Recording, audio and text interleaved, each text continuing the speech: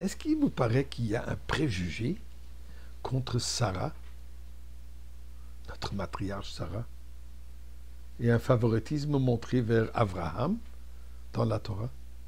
Est-ce que vous pensez que c'est possible? Eh bien, je vais revenir à cette question après qu'on ait dit ensemble le Tilim, le chapitre 100 pour remercier Akadosh Baruch pour nous sauver tous et bien sûr pour nous amener la goula. Tous les otages rentrent et nous sommes tous otages. Mizmoyer le soy de Noël l'homme de viad d'eur d'eur et mou nosoy. Donnons de la tzedaka. Tous ensemble.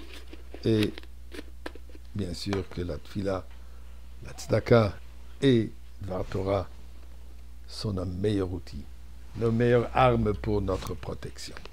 Eh bien, pour revenir à ce que j'ai posé la question, est-ce qu'il semble avoir un préjugé contre Sarah? Je m'explique. Regardons quelques versets. Parjat Lechlecha. Où Dieu dit à Avram Avinu, va avoir un changement de ton nom. Jusqu'à présent, tu t'appelais Avram, maintenant tu vas t'appeler Avraham.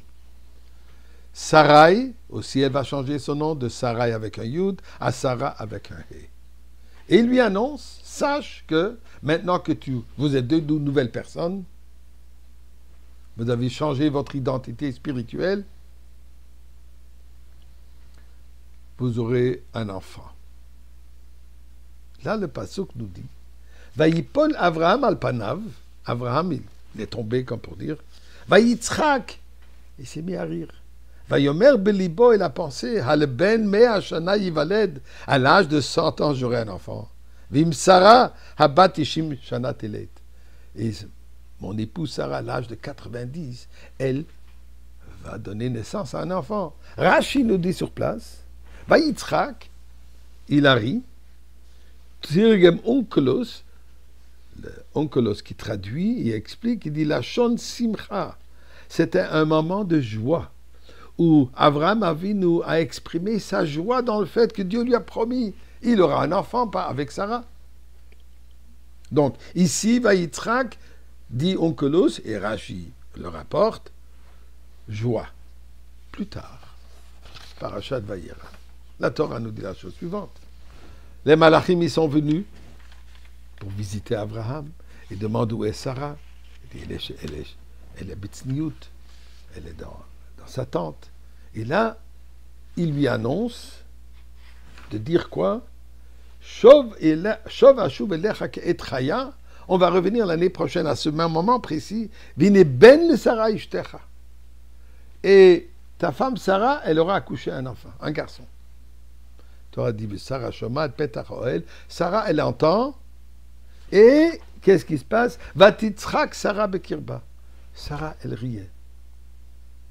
Ici, nous dit le, nous dit le Targum ça c'était un riz cynique. Pose la question de Orachaim Makadosh. Où est-ce qu'on trouve dans les versets une différence entre le Bayitzrak, le rire d'Abraham et le rire de Sarah, que pour dire que chez Abraham c'était un rire de joie et que chez le rire de Sarah c'était plutôt une expression de cynicisme et de manque de croyance. Dit impossible. On ne trouve pas ça dans le verset, dans les mots, une différence entre un et l'autre. Pourquoi dire que Sarah, elle, elle était plutôt négative et Avram était positif? Eh bien, nous dit l'Orachaim Akadosh une pensée extraordinaire. Les deux veut dire un, rire de joie. Sarah aussi, elle a ri de joie. Alors pourquoi Dieu lui dit, et comment ça se fait que tu ris? Puisque Dieu lui dit, à quel moment est-ce que tu as ri? À quel moment est-ce que tu as réjoui? Abraham, dit le passage, dès qu'il a entendu la promesse de Dieu que tu auras un enfant, il s'est mis à réjouir tout de suite. Il avait la simcha. Il a son rire était un rire de foi absolue, de joie, même que ce n'est pas encore changé, il n'y a rien qui est arrivé. Mais déjà, lui, il s'est mis à réjouir.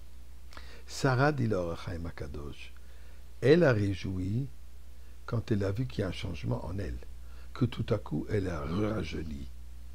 Elle s'est sentie encore une jeune femme, chose qu'elle n'a pas eue jusqu'à présent. Elle avait 90 ans.